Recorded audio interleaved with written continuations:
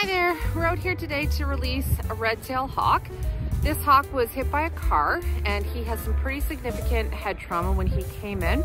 His one eye was swollen completely shut and there was a lot of blood in the eye. The other eye had a little bit of blood in it as well. Luckily he didn't suffer any fractures and just needed some time to heal. So he's been with us for Salt at Salthaven for a few weeks now and the eye is fully open and fully recovered.